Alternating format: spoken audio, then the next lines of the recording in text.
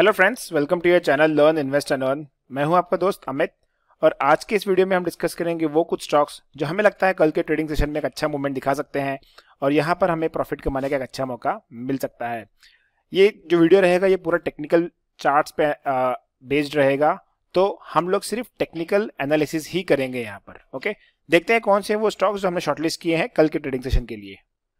Stock discuss करने से पहले हम डिस्कस करेंगे निफ्टी और बैंक निफ्टी में इसमें हम किस तरह की मूवमेंट एक्सपेक्ट कर रहे थे। तो कल हमने जैसे डिस्कशन किया था कि देखिए, यहाँ पर एक एक हैवी फॉल हुआ है, एक बहुत बड़ी कैंडल फॉर्म हुई है और निफ्टी ने ये अपना सपोर्ट ब्रेक करने के बाद जो कल का ट्रेडिंग सेशन था, इसमें निफ्टी ने ऊपर जाने की कोशिश की और यहाँ पर ये फेल हो गया।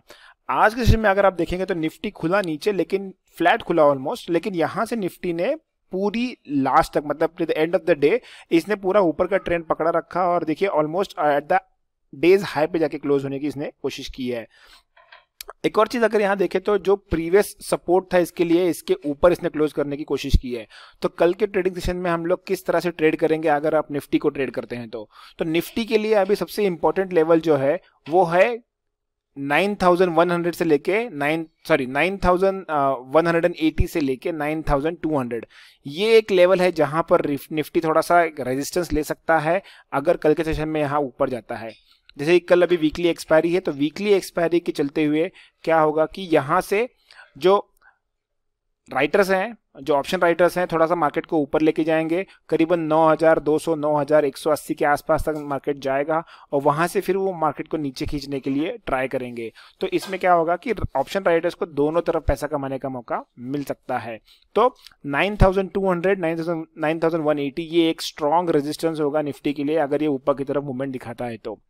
अगर नीचे आता है तो निफ्टी के लिए यही जो है 9000 का एक एक लॉजिकल नंबर भी है और यहाँ पर भी एक इसको एक स्ट्रांग सपोर्ट मिलेगा।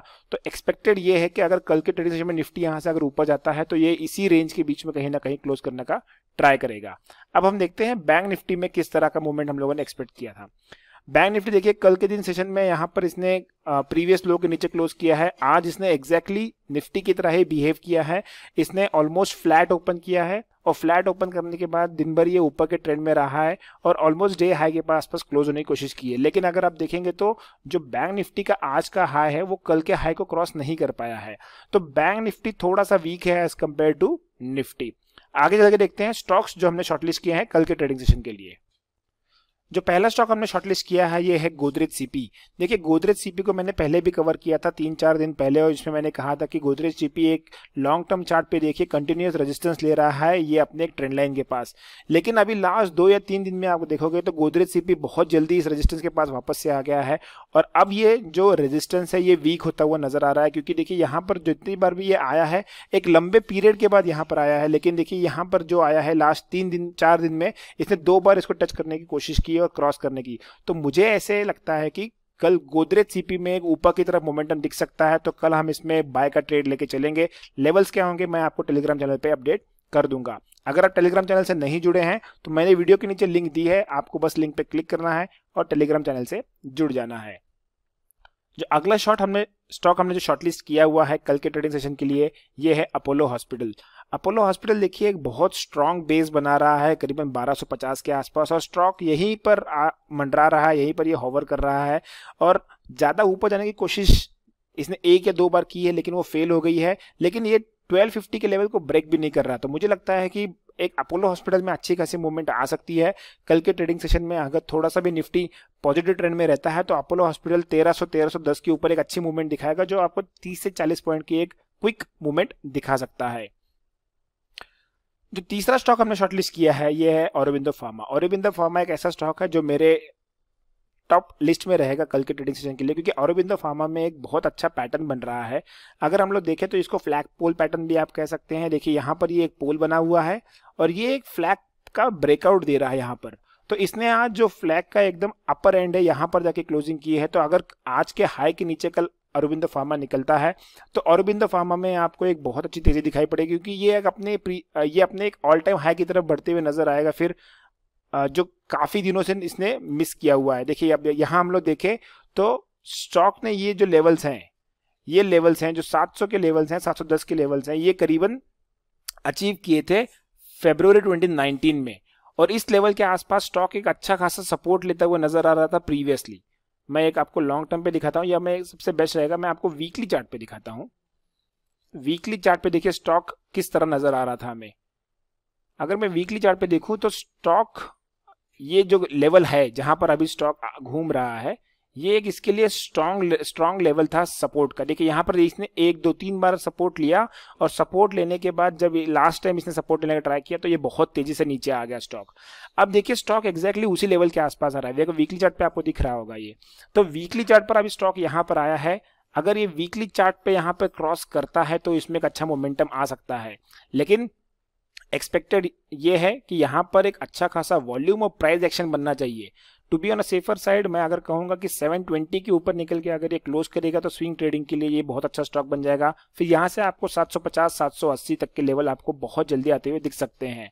इंट्राडे के लिए जो भी लेवल्स रहेंगे, मैं आपको टेलीग्राम पर अपडेट कर दूँगा।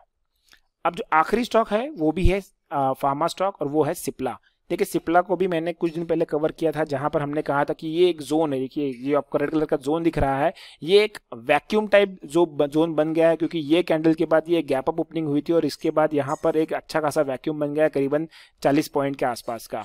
अब इसी जोन को एक अच्छा खासा सपोर्ट बन जाता है, जब भी कहीं वैक्यूम क्रिएट होता है, चाहे वो गैप अप या गैप डाउन में हो तो वो एक अच्छा खासा सपोर्ट या रजिस्टेंस करके ऐड करता है वो पर्टिकुलर स्टॉक के लिए। अब सिप्ला यहाँ से नीचे आया, इसने देखिए तीन या चार दिन के आसपास यहाँ पर अपने आप को सपोर्ट लिया और यहाँ से अब ये ऊपर जाने की मूवमेंट कर रहा है। तो अगर कल के ट्रेडिंग सेशन में ये अपने हाइस को क्रॉस करेगा तो यहाँ पर एक अच्छी खासी मूवमेंट बनेगी ऊपर की तरफ़। फार्मा सेक्टर काफ़ी पॉजिटिव लग रहा है। यहाँ पर फार्मा सेक्टर्स में काफ़ी अच्छी मूवमेंट नज़र आ रही है। सिप्ला और औरबिंदो फार्मा ये अच्छी, दो स्टॉक ऐसे हैं जहाँ पर आपको अच्छी खासी मूवमेंट दिखना चालू हो गई है। वेर अगर आप बाकी के स्टॉक देखेंगे, जहाँ डॉक्टर रेड्डीज या फिर डीवीज या फिर सन फार्मा है तो वहाँ पर अभी इतनी अच्छी मूवमेंट नहीं है जितनी इसमें आई है। तो औरबिंदो फार्मा और सिप्ला पे नज़र बना के चलिए, क्योंकि ये दो स्टॉक है जहाँ एकदम ब्रेकआउट लेवल पे है। तो अगर यहाँ पर आपको ब्रेकआउट मिलता है तो ये एक अच्छा अच्छा खासा आपको प्रॉफिट दे सकता है। आज कुछ लोगों ने मुझे पिंक किया था कि उन्हें काफ़ी अच्छा प्रॉफिट हुआ है हीरो मोटोकॉप में और हीरो मोटोकॉप में हमने कल सजेस्ट किया था कि आप अगर यहाँ पर सेल करके चलेंगे तो आपको बहुत अच्छा मुनाफा हो सकता है। हमारा जो फाइनल टारगेट था वो था टू थाउज़ेंड रुपीज़ का और हमने जो कॉल इनिशिएट किया था सेल के लिए वो था टू ज़ीरो डबल फाइव के आसपास। तो देखिए, आज स्टॉक ने लो लगाया है करीबन one one nine nine one का। तो यहाँ पर मुझे लगता है कि जिन लोगों ने भी ट्रेड लिया हो होगा। उनको काफ़ी अच्छा मुनाफा हुआ होगा। हमने कंटिन्यूसली आज टेलीग्राम चैनल पे भी इसमें पोस्ट डालते रहे हैं हम लोग कि इसमें आप रेगुलर इंटरवल्स पर अपना स्टॉप लॉस शिफ्ट कीजिए या फिर आप प्रॉफिट बुक करते रहिए और फुल प्रॉफिट हमें इसमें बुक करने का मौका मिला है। वेराज हेवल्स में हमने क्या कल डिस्कस किया था? हेवल्स में हमने कहा था कि यहाँ पर जो हम सेल के सेल के लिए पोजीशन लेंगे, वो सेल की पोजीशन जो होगी, वो 455 के नीचे ही होगी, उसके नीचे हम सेल नहीं करेंगे। फ़िलहाल हमारे यहाँ पर सिर्फ़ बाय का ट्रेड था। लेकिन देखिए हेवल्स में हुआ क्या? हेवल्स आज यहाँ खुलने के बाद हेवल्स में जो मोमेंटम था, वो मोमेंटम देखते हुए मैंने तुरंत टेलीग्राम चैनल पर यह अपडेट किया था कि आप इसको तुरंत सेल कर सकते हैं और वहाँ पर आपको एक अच्छा खासा मुनाफा हो सकता है। बहुत ही क्विक ट्रेड था और करीबन सात से आठ पॉइंट वो फटाफट दे के चला गया। तो हेवल्स में अगर आपने ट्रेड किया होगा और अगर आप टेलीग्राम चैनल पे हमारे रहे होंगे तो आपने ये अपडेट देखा होगा। होप सो आप लोगों को यहाँ एक अच्छा खासा मुनाफा कमाने का मौका मिला होगा। जिस लोगों ने इसको मिस कर दिया है शॉर्ट का ट्रेड उन लोगों को भी आज मौका मिला होगा क्योंकि हेवल्स आज ऊपर भी गया था और जिसने भी हमारे बाय के ट्रेड या बाय के लेवल्स में इनिशिएट किया होगा ट्रेड उन्हें भी अच्छा खासा प्रॉफिट हुआ होगा। तो हेवल्स में आज ऐसा ट्रेड हुआ है कि जिन जिन लोगों ने कल के वीडियो के बिहाफ पर ट्रेड किया हुआ है, उन्हें अच्छा खासा प्रॉफिट हुआ होगा बाय साइड के लिए। वेर एज जिन लोगों ने टेलीग्राम पर इंस्टेंटली फॉलो किया था हमारे ट्रेड को, वहाँ भी उन लोगों को आज अच्छा प्रॉफिट हुआ होगा सेल साइड के लिए। तो हेवल से एक अच्छा ट्रेड हुआ है आज के दिन के लिए। बीन अ ट्रेडर आपको एक चीज़ हरदम याद रखनी पड़ेगी कि आपको मार्केट के हिसाब से अपने आप को चेंज करना पड़ेगा। ये नहीं है कि आपने अपने आप को स्टबन कर लिया है या अपने आप को आपने कह दिया है कि नहीं, अब इसमें मैं एक ही साइड का ट्रेड लूँगा। अगर आपके लेवल्स फिक्स रहेंगे, जैसे मैंने कल के वीडियो में क्लियरली कहा था कि अगर ये 455 के नीचे जाएगा तो ही सेल का सोचेंगे, जबकि वो वहाँ से मैंने ये भी कहा था कि 14 15 पॉइंट्स दूर है तो फ़िलहाल के लिए वो नहीं रहेगा। लेकिन जब इतनी बड़ी मूवमेंट आती है तो अगर आपके पास लेवल्स हैं तो आप अपने लेवल्स को रिस्पेक्ट कीजिए, अपने एनालिसिस को रिस्पेक्ट कीजिए और उस हिसाब से ट्रेड कीजिए। अगर आप उसको रिस्पेक्ट करोगे तो आपको ज़रूर प्रॉफिट मिलेगा और अच्छा प्रॉफिट मिलेगा। इतना डिफ़िकल्ट नहीं है मार्केट में ट्रेड करना, बस आपको अपना डिसिप्लिन अपने रूल्स फॉलो करने हैं। अगर आप उसको प्रॉपरली फॉलो करोगे रेगुलरली तो आपको एक अच्छा मुनाफा हो सकता है। हमने एक वीडियो पोस्ट किया था बायोकॉन के ऊपर। ये एक पोजिशनल था या फिर स्टॉक एनालिसिस था, जिसमें हमने कहा था कि आप ये एक 200 डेमा के 200 एक्सपोनेंशियल मूविंग एवरेज के पास है और बाकी कुछ हम लोगों ने एक्सप्लेन भी किया था और हमने कहा था कि यही एक राइट लेवल है अगर इसको वहाँ से बाउंस बैक करना है। अगर आपने वीडियो वो नहीं देखा अभी तक तो यहाँ पर एक लिंक फ्लैश होगी ऊपर, आप उस पर क्लिक करके वीडियो को देख सकते हैं। देखिए कितने अच्छी तरह हमने एक बहुत अच्छे टाइमिंग पर इसको एक्सप्लेन किया था वीडियो को बनाया था। 330 के आसपास हमने कहा था कि बाउंस कर सकता है और यहाँ से आज इसने 350 का हाई लगाया है। तो करीबन जिन्होंने भी स्विंग ट्रेड किया होगा, करीबन उनको यहाँ से 8 से 9 परसेंट का प्रॉफिट हो चुका है। अभी मुझे लगता है बायोकॉन में अच्छी खासी स्टीम बची है। 360 से 365 लेवल तक टच कर सकता है और अगर ये 365 के लेवल को क्रॉस करता है, फिर हम इसमें एक नया हैज़ आते हुए देख सकते हैं। अगर आपको वीडियो पसंद आ रहा है तो वीडियो को लाइक कीजिए चैनल को सब्सक्राइब कीजिए और जितना हो सके अपने फ्रेंड्स और कलीग्स के साथ भी शेयर कीजिए। Thanks for watching the video keep learning keep investing and keep earning